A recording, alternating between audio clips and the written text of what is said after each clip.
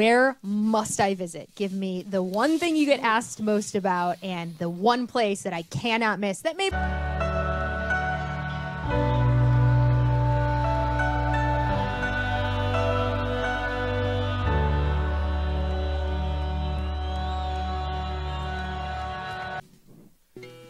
Rororo. Ro, ro,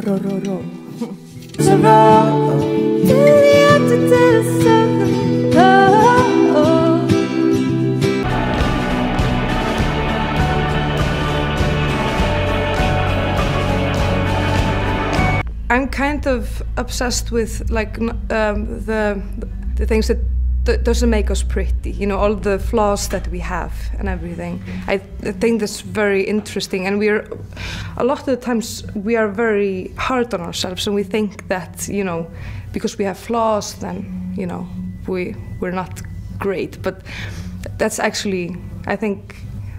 I think I've learned through this process that it's actually that's not true. You know, the flaws kind of they, they make you interesting.